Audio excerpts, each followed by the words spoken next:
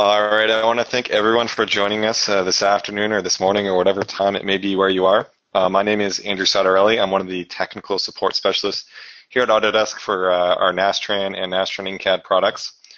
Uh, joining me today is Mitch Muncy, the product manager for uh, the Nastran line, and we'll be going over some of the, the new features and functionality uh, in the 2017 lineup. Um, before we get started there, just a, a quick overview of the uh, Autodesk Help webinar series.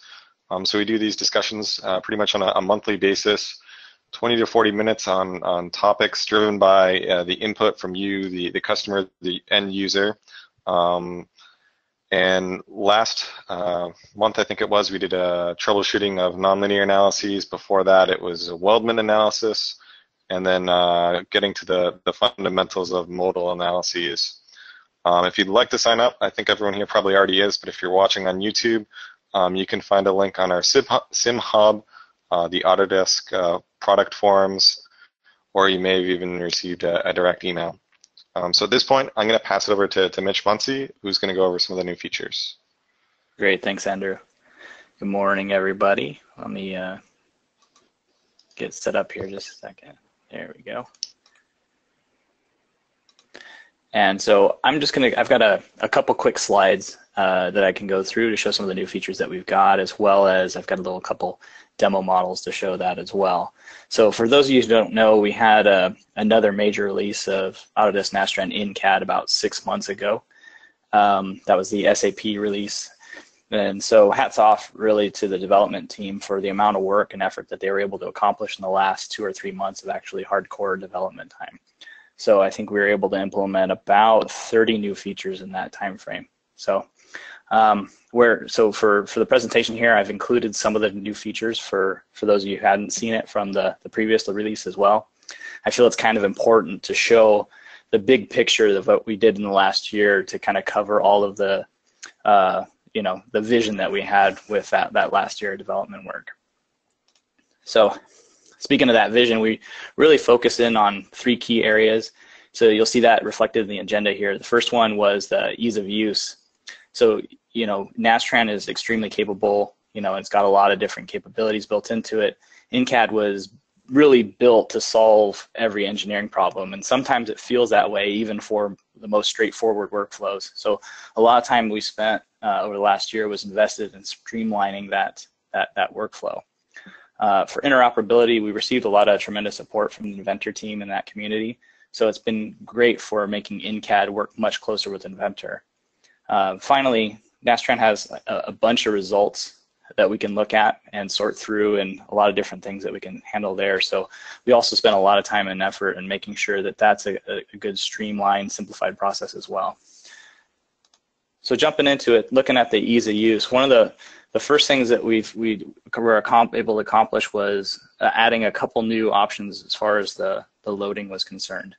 So um, when you're looking at a, a remote force, you know, we had the ability to click on a point. You had to create that point first, but then you could you could use that that point as the the location of the load. But oftentimes, you know, people that work with their models a lot, they already know where those locations are. So now you can just specify it in a uh, in a general coordinate system.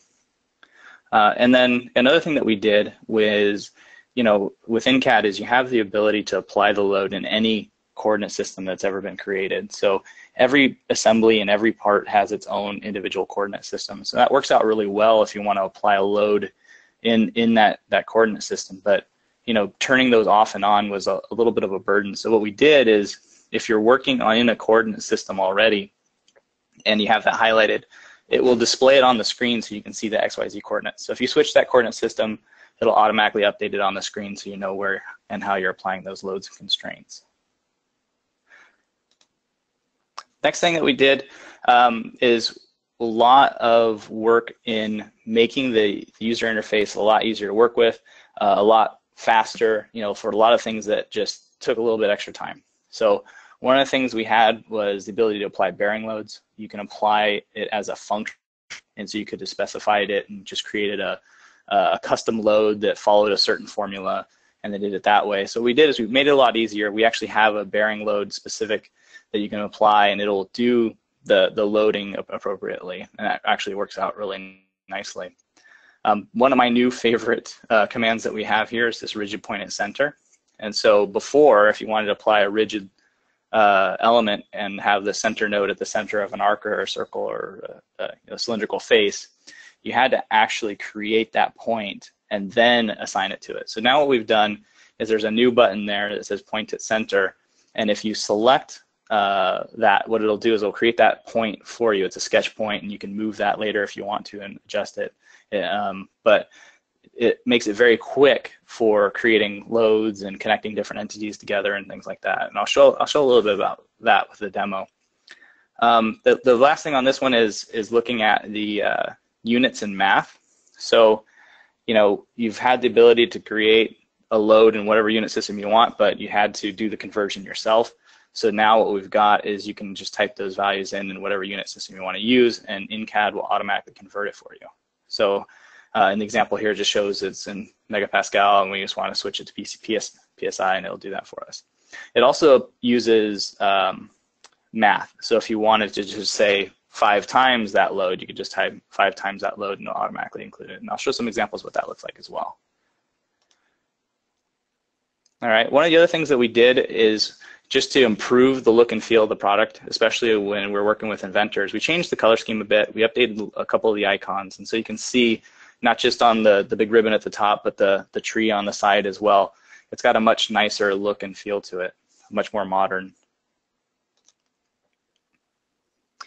And you know, one of the things that we did with the SAP release is we added support for inventor representations. So you know, level of details, you can have that in there, and then when you go to InCAD, you can select it, and it'll automatically pick the parts. Uh, one of the things that we did with this release is we also added the ability to support that that CAD view inside of InCAD, and you can actually turn entities on and off, and you can exclude it from the analysis. And one of the things that's important about that was, you know, you could always have just not meshed a part in InCAD, and it would allow you to run the analysis. It would give you a little bit of a warning saying, hey, you might have forgot something here. But once you go and run the analysis, you can just run it on the parts that you want. So what this allows you to do now is you can go up front and say, like, I'm not gonna, I'm gonna ignore this, this, this. I'm just gonna run it on these parts of the assembly, and that way you're not, you know, going back and forth with the level of detail. You're not tweaking anything, and it gets some really good, uh, get get an analysis on exactly what you're looking for there. All right, so let's just kind of walk through some of those features here. I've got a quick little sample model that I can I can go through. So the first thing I want to do is just show how we can kind of hide and move some of those parts. So like we were saying here, we've got this CAD display and it's got all the different CAD entities in it. And it's got a little bit of cross highlighting. So if I click here, it'll highlight over here. So if I want to just turn that off, if I want to exclude it from the analysis, you'll notice if I just hide the, if I just exclude it from the analysis and not turn off the visibility, you can see it's kind of got a transparent view. You can't pick on it, but you can also turn off the visibility so it's completely hidden as well. So I'll just do this for the two tubes, and what I'll do is I'll replace those with, let's just say, some sort of a spring damper type system, and that'll allow us to show off some of the connectors. So if I go down here to create my connector, right click and say new, we've got the, uh, the rigid body, and you can see the new point at center option here. So if I want to, I can just create, select a surface here, and it'll use the point at center, and I can use some of the nice little commands here to create a duplicate, so it'll create another one here all I have to do is clear that and I can grab another one. Let's zoom in a bit here. And I can do the same thing. Clear this guy, move into this one. Create a duplicate. Clear this one. And then create this last one here.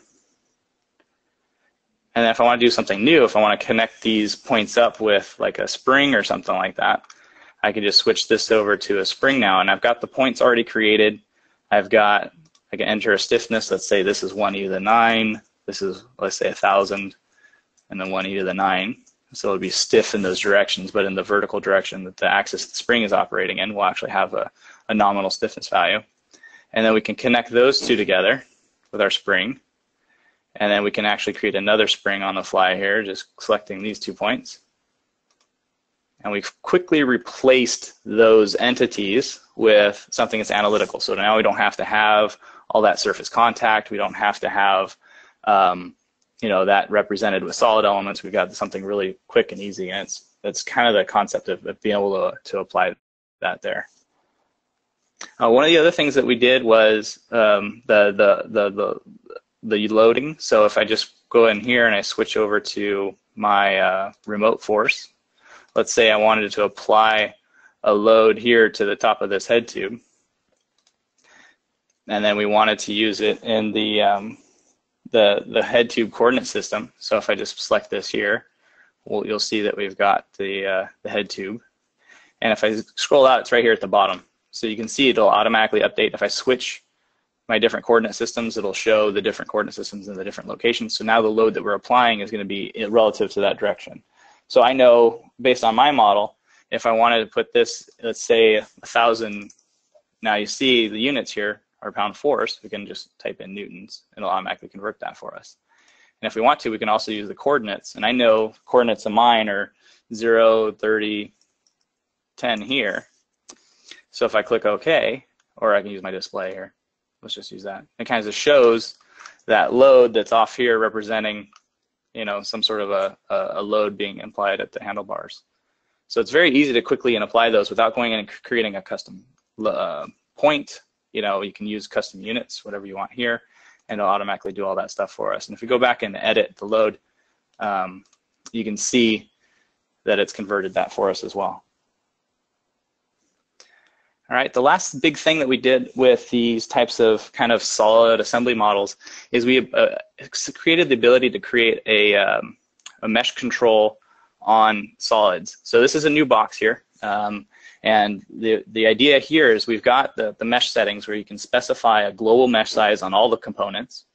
And now you actually have a uh, mesh size for solid parts. So if you wanted to say, I want a coarse mesh overall in these five areas, but I know my load's going to be right here in this area, I can do a finer mesh just in this solid part and we can refine that mesh locally. Or you can do the opposite. You could say, you know, it's going to have a fine mesh everywhere, but and this is going to be a kind of a, a general general um, mesh size here.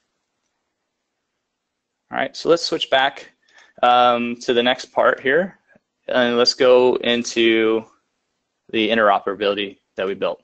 So the big thing here is the we are introducing this concept of idealizations, and idealizations in FEA is something that's been there forever. Uh, so it's not something new that we're we're creating, but it's something I think is very important for improving the workflow that we have for InCAD.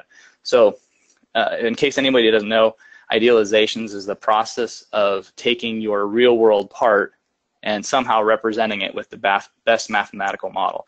So what we did this year is we spent a lot of time um, setting up the foundations for idealizations, and we started. And with this release, you see that we started to add some of those um, that capability there. So the first thing that we did was with solids. So we streamline that workflow. It'll automatically bring in the materials. It'll automatically bring in the physical property for you, and it'll assign it to the right components. Um, for, for shells, we introduce mid-surf, mid-surfacing as well as offset surface, and it automatically creates the thickness for you, even if it's a, a mid-surface or an offset surface. And then the last thing that we did this this release was we added support for frame generator. So you can take a frame generator model, it'll automatically convert it to beams, and you can uh, start working with it that way. And I think, yeah, let me show just kind of what that looks like as well. So I've got another model here. It's just a simple little frame model that we built with frame generator. For those of you who've been with us for a number of years, you might recognize this as one of our kind of tutorials that we use.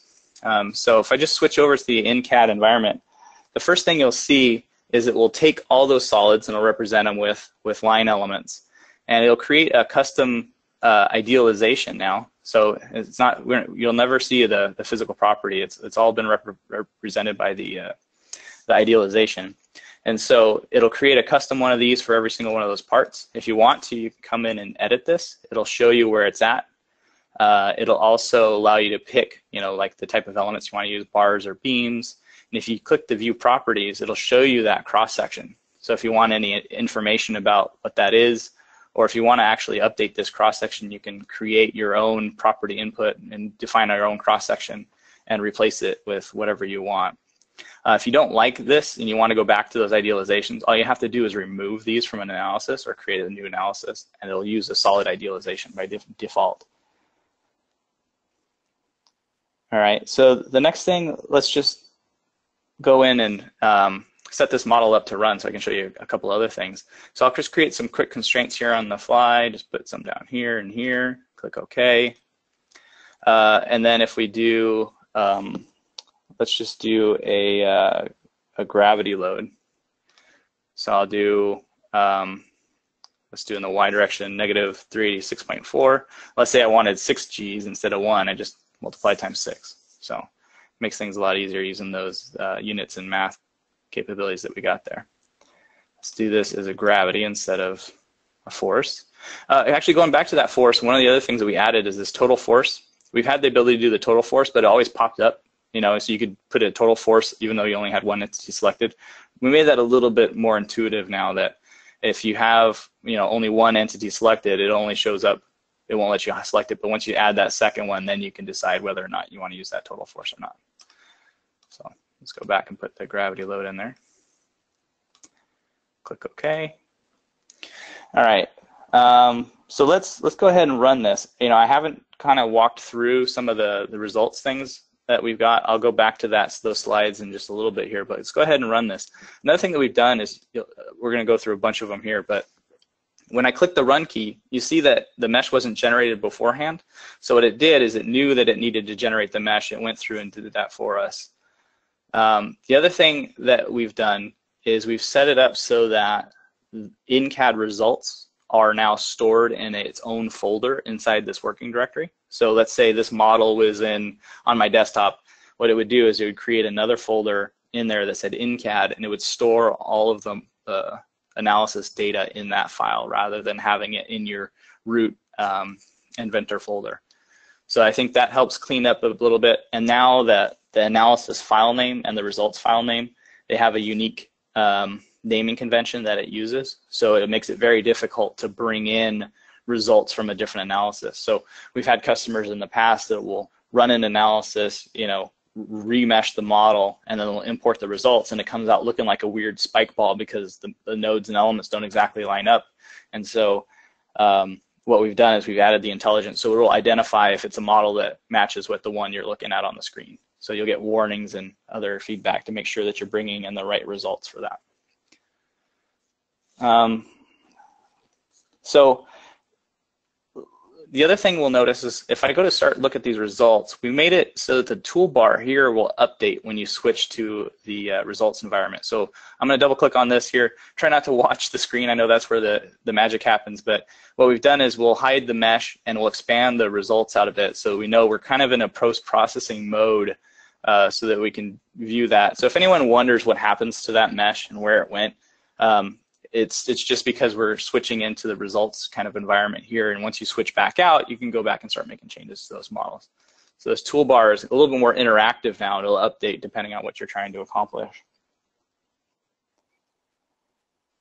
All right. So the cool thing that we did uh, is one of my another one of my favorites here is is addition of the mini toolbar, and there's a lot of different things that go into it.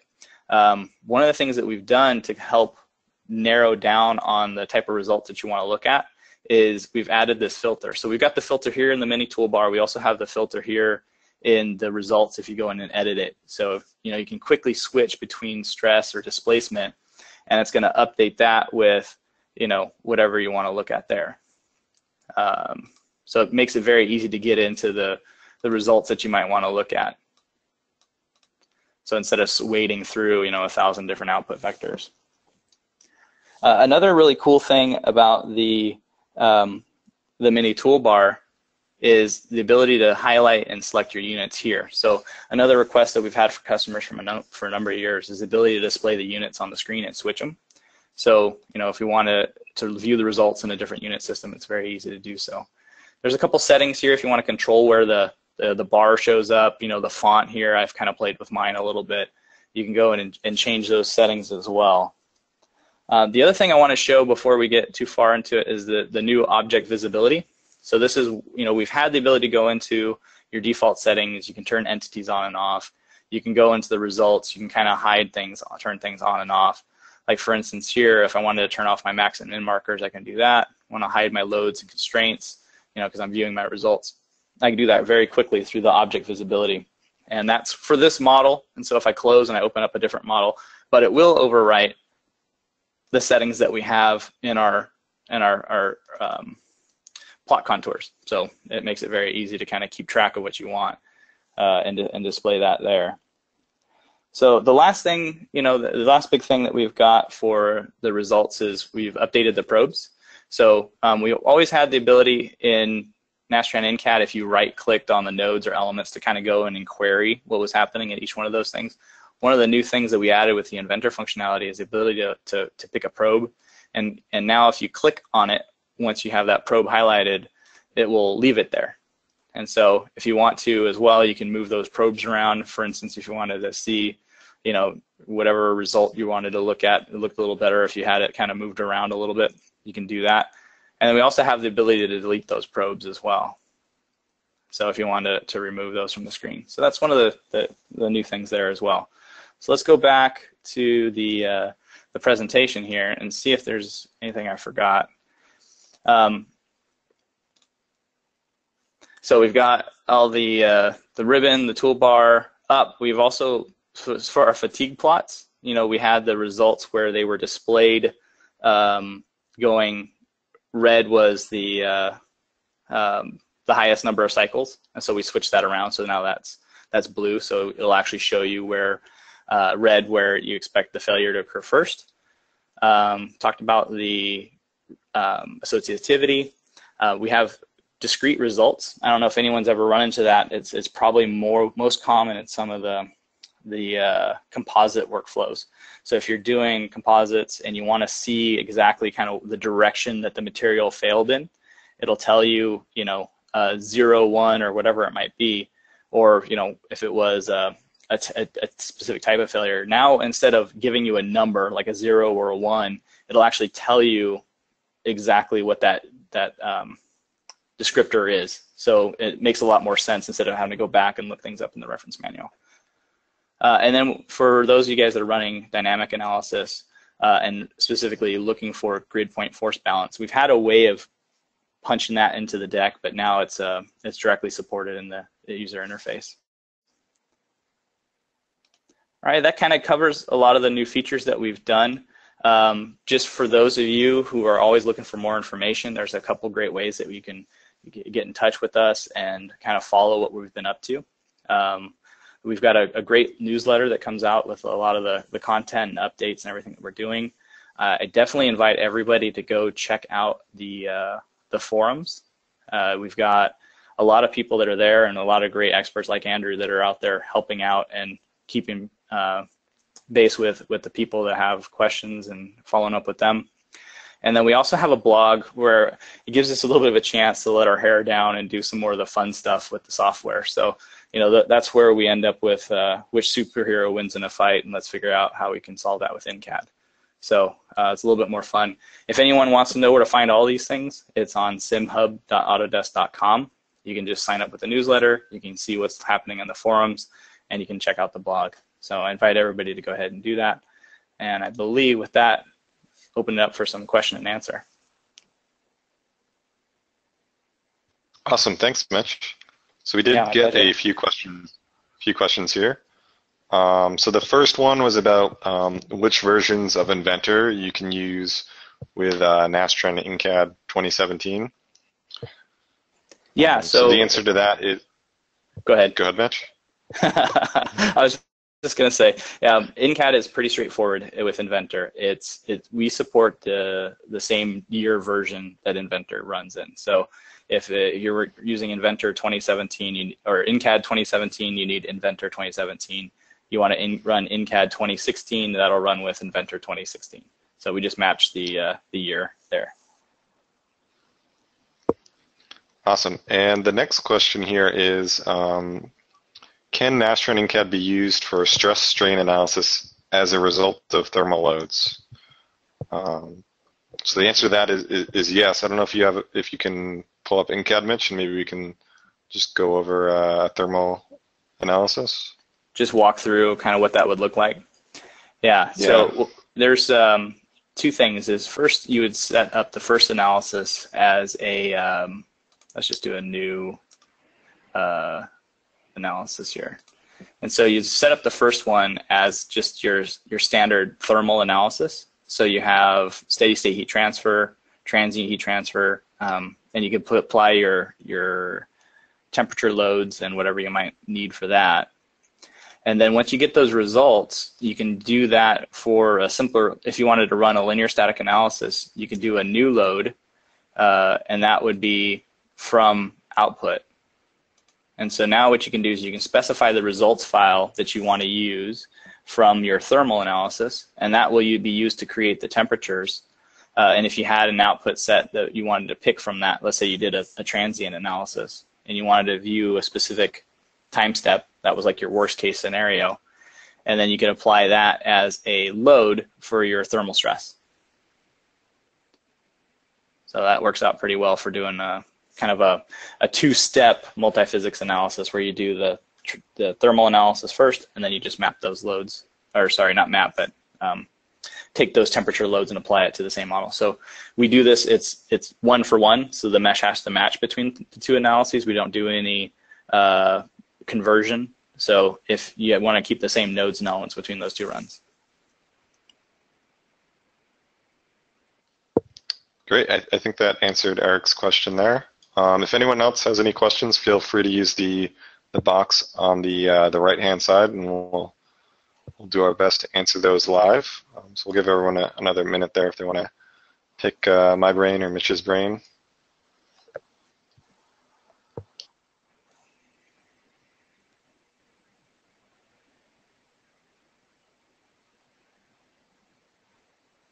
So while we're giving everyone a, a second there, um, one great feature of the uh, the community is the idea station. Um, so I, I, think Mitch, you probably go there on a, a, weekly basis to look at all the the new posts and things like that. And a lot of those suggestions get wrapped into the new new release. So I think with the SIP release, it was the number two or number three um, ask on the idea station was to have those bearing loads and that was you know some of the functionality we added there. So if you ever have a, a feature request or an idea you think would be great um, to have in an Nastran InCAD, I definitely recommend going over to the idea station, uh, maybe taking a look at some of the other ideas other um, users have suggested. You might find something that you could find uh, really beneficial that you hadn't thought of before. Yeah, we're always checking those out. I mean, I think I get the alerts as soon as somebody posts, but we're always looking at that as one of the, the key sources of uh, updates when we were looking at what we want to add for the next release. That's yeah, that's a great point, Andrew. Thank you.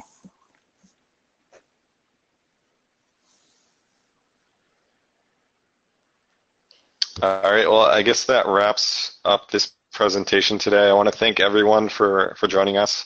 And um, if you oh, looks like we got a, a last minute question there. Um, can the stress analysis be run on a linkage mechanism as it runs through the system's full range of motion? And can a plot be generated to show the points of highest stress?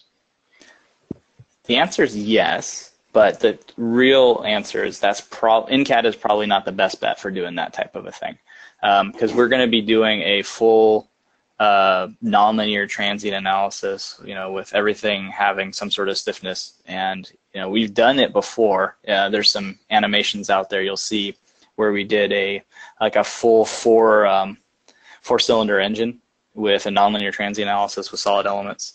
And I think that one took probably, you know, uh, a couple days to solve back in, you know, 10, 15 years ago when we created it.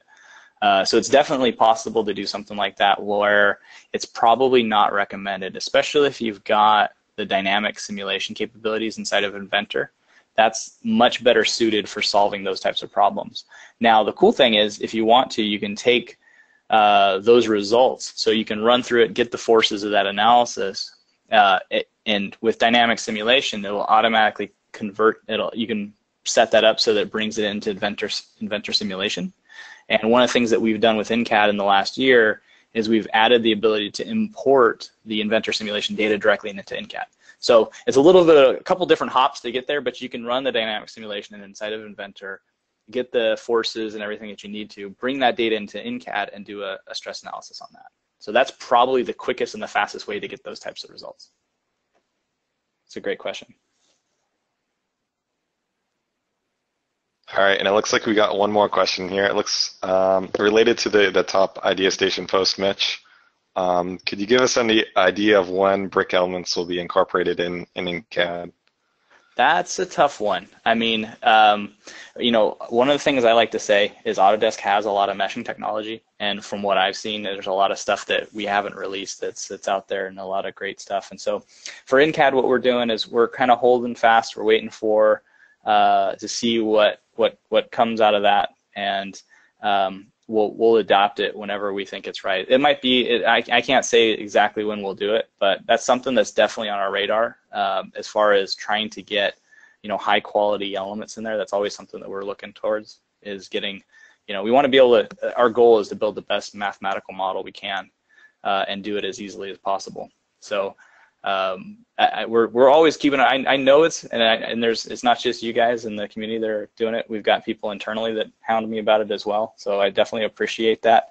And uh, I, I I can't give you a, a hard date on when we'll have it, but we're definitely got our eyes focused on it.